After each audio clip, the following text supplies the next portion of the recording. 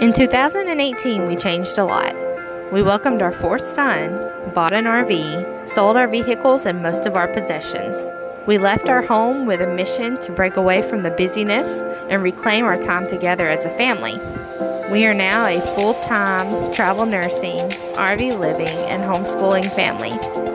Julio, Maggie, Eden, Elliot, Leo, and Alonzo. We are the Macias family.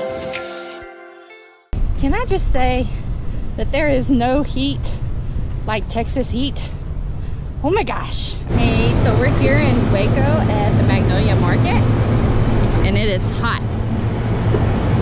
There's the silos. It's pretty neat though. They've got games of cornhole and Jenga, some bean bags, and my kiddos are out there now. We got Eden and Elliot lounging on the bean bags playing Jenga.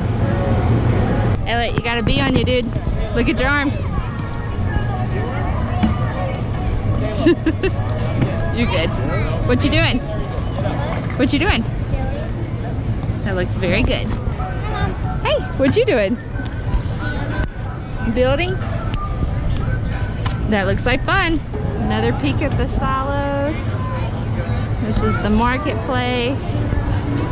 And then all this over here is food trucks lined up and ready. So we're gonna go try out the food trucks. And this, my friends, is the line to the bakery. All of that.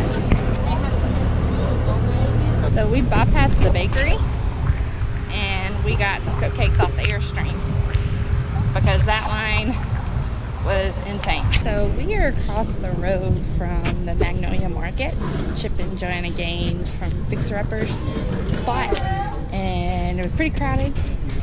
So we came to check out the Dr. Pepper Museum.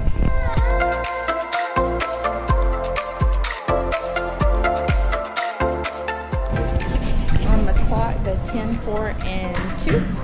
So apparently your blood sugar drops at 10, 2, and 4 so Dr. Pepper used that to their advantage and advertised that you needed to drink a Dr. Pepper at 10, 2, and 4.